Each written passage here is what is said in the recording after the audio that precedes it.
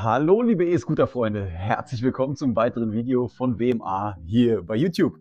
Wir haben ja bereits in den vorangegangenen Videos jetzt eben auch den Dämpfer gewechselt, haben den neuen schicken Lenkungsdämpfer montiert und natürlich auch in diesem Video möchte ich mit euch gerne ein neues Produkt eben auch an diesem Scooter ausprobieren.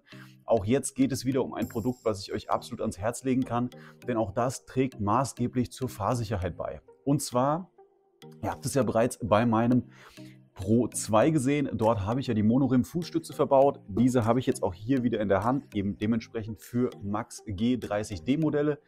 Und äh, das Ganze wird quasi hier am Hinterrad eben auch vor dem Kotflügel montiert. Wichtig für euch zu wissen ist, all diese Modifikationen kann man ja ganz einfach rückrüsten, ohne eben auch eine Beschädigung im Nachhinein zu haben.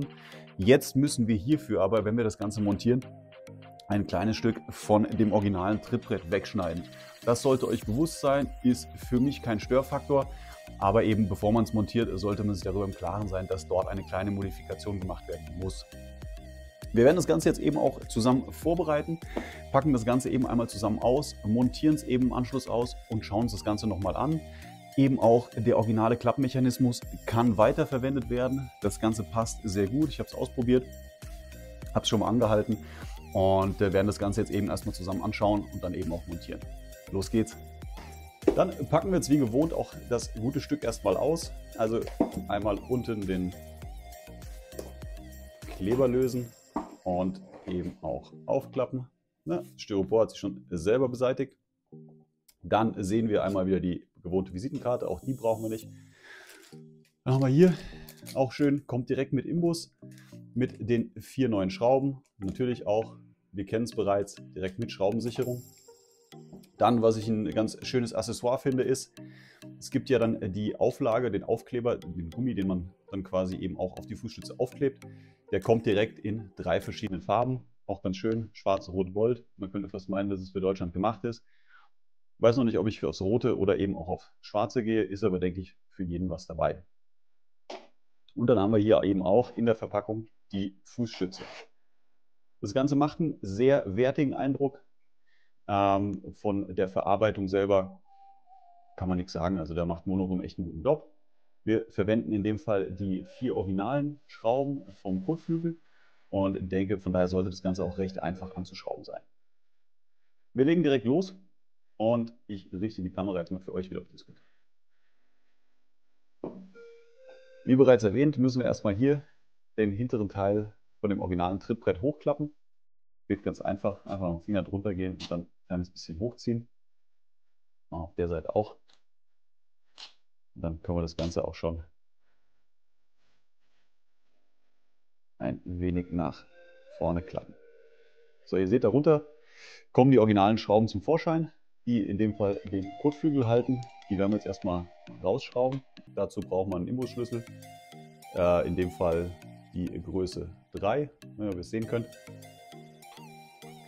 Und damit lockern wir das Ganze einmal. Schrauben sind verdächtig lose, ich habe es nicht vorbereitet.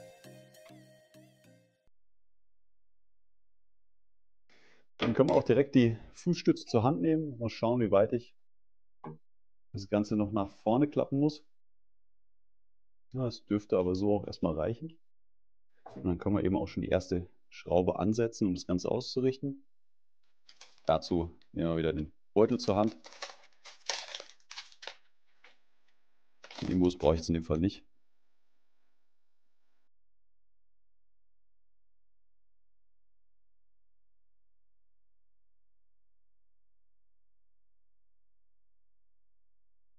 Für die Schrauben brauchen wir jetzt einen 2,5er Imbus. Drehe die Schrauben mal leicht an, bis sie Grip hat.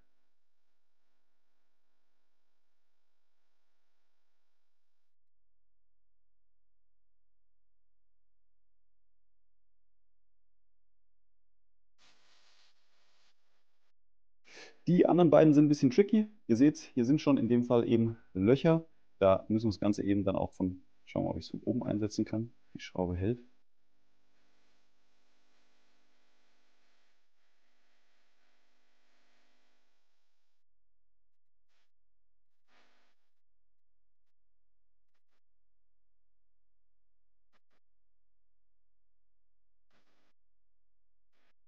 Dann ziehen wir die Schrauben noch einmal final fest.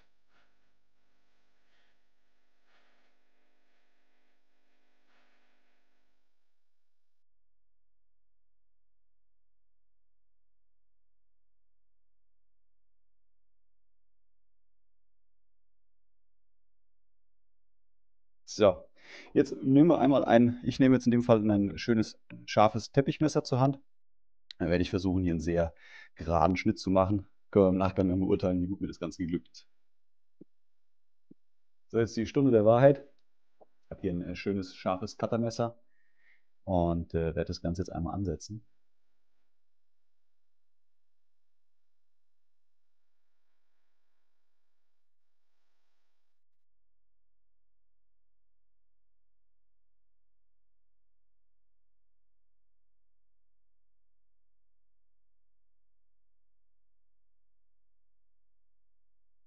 Dann schauen wir mal, wie gut es geklappt hat.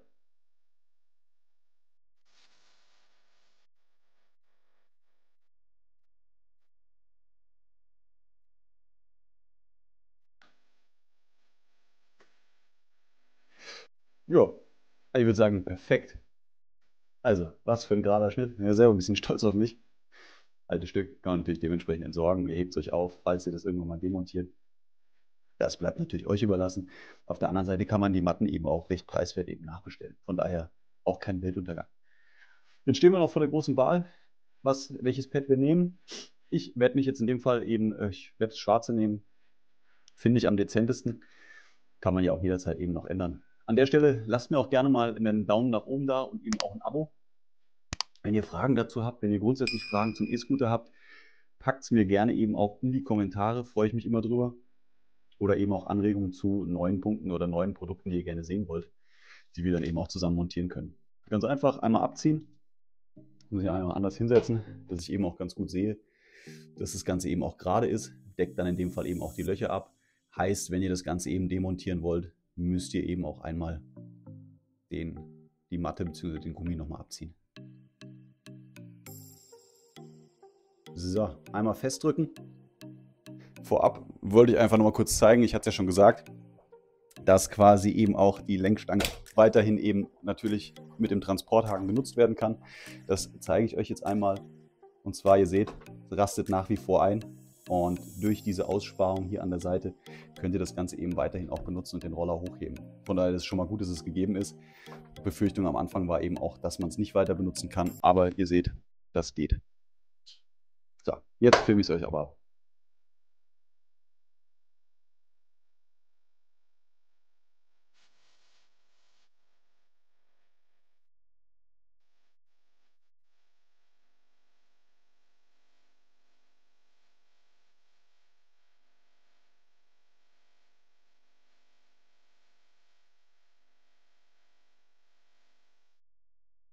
An der Stelle eben auch schon mal vielen Dank fürs Zuschauen. Ich freue mich auf das nächste Video mit euch.